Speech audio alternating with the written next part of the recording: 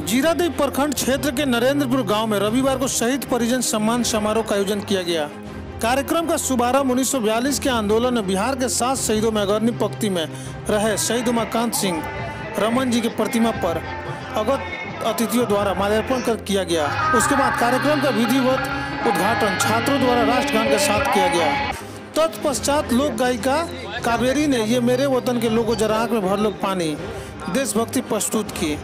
स्वागत भाषण supreme court के पूर्व न्यायाधीश चेयरमैन सेट के मान्य स्वीकृति सिंह ने किया। उन्होंने अवगत अतिथियों का स्वागत करते हुए कहा कि शहीदों के बलिदान से देश आज़ाद हुआ।